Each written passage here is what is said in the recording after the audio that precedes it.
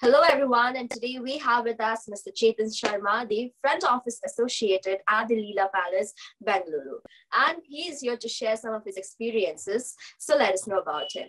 So, Mr. Chetan, before moving ahead with the interview, tell us something about yourself.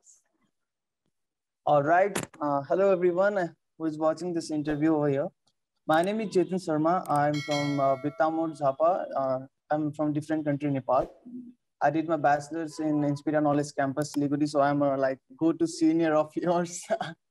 and then uh, mm, after like one and a half year of college life was good. It was going great. And then the pandemic happened. So then a year was around online classes. And then I got over to my college.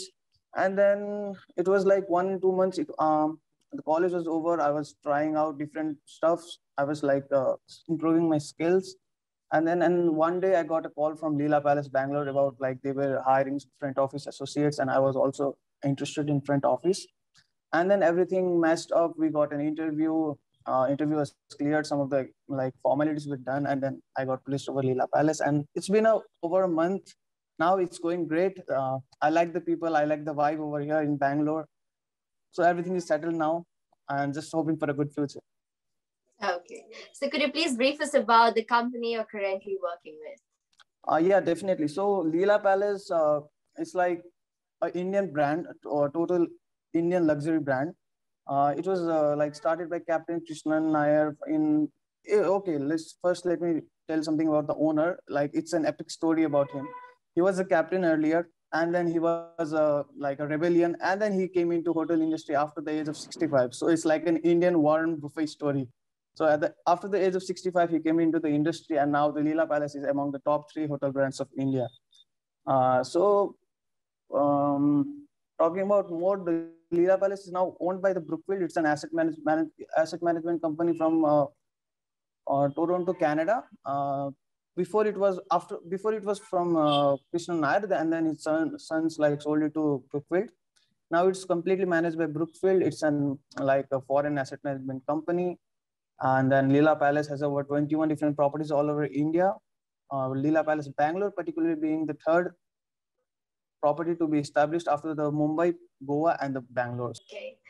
Okay, so could you please even brief us about your job profile and the roles and responsibilities mm-hmm. that you have to go through in a day-to-day activities?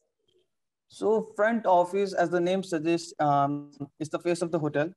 The guest like whenever they enter the hotel front office is the department which like gets to interact with the guest at first. Uh, in my industrial training like i was part of all the departments. Like the knowledge of every department is important but particularly front office is that you require a different mindset. Uh, you have to be present to the you have to be like uh, you have to concentrate to the guest. Like you are giving them 100% you can't be like thinking about something in front of a guest whatever he is saying you have to listen to him. All there are different types of guests so different type of queries different types of requests. Everything needs to be fulfilled so you require a complete hotel knowledge background of the hotel whatever is happening what whatever we can uh, uh, whatever the guest demands we have to give him. So you require a complete knowledge. Not just the software not not just this uh, the software skills not just the customer handling skills, but like you require a complete knowledge of hotel. Okay. So mm-hmm. as you know, that skills are really very important on all of the profession. So yes. talking about it, what are the skills specifically which is required in your job role? Okay, so specifically in front office, what I have uh, like personally seen is that uh, your attitude is the most. Your attitude to learn every day. Like uh, you, you, there are some seniors, there are some juniors of yours. You learn from the juniors as well as you learn from your seniors. Sometimes you even learn from the guest. So your attitude to learn is the most basic requirement. And then there are other soft skills like communication. You have you have to have a nice grooming standard. And grooming is like part of hotel industry. It goes with it. And then uh, your there are so many cultural uh, so many people from all around the world uh, working in the same industry. So you have to be uh, really you know particular about your culture. You can't like uh, you know talk shit about them. You have to be you have to gel with them. So you know all the people from different cultural backgrounds you have to be like nice honest with them. And then team team coordination is required the most. Uh, you can't like okay you are from this place so uh, you you are you this guest is like a nepali so i'm i can speak like nepali properly. So it's not that i'm i'm only going to communicate him. My colleagues also get communi- uh, gives a chance to communicate with him. Like so these were like uh, the basics basic skills of a front office. Okay, so uh, was it a campus placement? And like during the recruit recruitment period, how was the question and answer process handled with your company? Uh, okay, the placement story is like a different. I was like uh, during the month of September, I was applying to different hotels, uh, uh, but like it said that there's a match in the heavens. So Leela Palace was recruiting front office, and then uh, my two of the seniors just uh, who were the part of Leela Palace front office, they just left. And then uh, even my professor contacted me that Leela Palace is looking for some front office associate. You want to try them? I said, okay. Then just the very next day, the interview was scheduled. Uh, the art rooms division manager over here uh, got in touch with me. We had an interview, and the next day I was like, uh, okay, I got an offer later. So even from starting of a week, uh, like if it is a Monday, I did my interview, and Sunday I was in the Leela Palace, Bangalore. so it happens. It happened so quickly. Uh, I got my tickets arranged, uh, and then flew over, flew to Bangalore, settled down over here, and I started my work just in a period of a week. Okay, so could you please tell us about like how was the question and answer process handled at your company?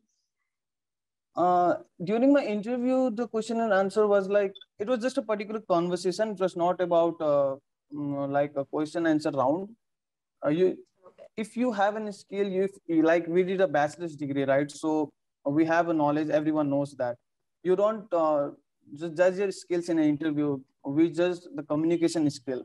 It was a good communication with my RDM manager. He liked me. I liked him, and then it was just done. Nothing particular as a question and answer, but if you are watching this interview to know about the question and answer, so I would say uh, during an interview of a front office associate, just uh, get to know about the, uh, there are some numerical parts, uh, just uh, basic formulas, just learn about it. And then uh, some, there are some rooms division about the keys, about the system, about the software, just get a basic knowledge about it.